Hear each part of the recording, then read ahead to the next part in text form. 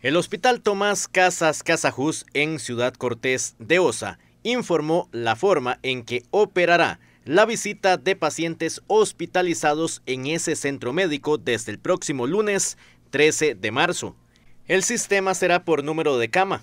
Pacientes en camas pares de 3.30 de la tarde a 4.30 y pacientes en camas impares de 4.30 a 5.30 de la tarde un horario que se aplicará de lunes a domingo según el dato compartido por ese centro médico en el cantón de Osa.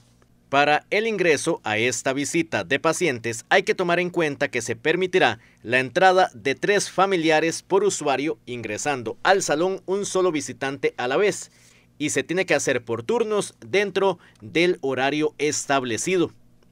Toda persona tiene que ingresar y permanecer con cubrebocas mientras se encuentre en el centro médico. Es obligatorio el lavado de manos al ingreso al hospital. El familiar debe permanecer solo con la persona internada. Está prohibido socializar con otros pacientes o visitantes en los salones.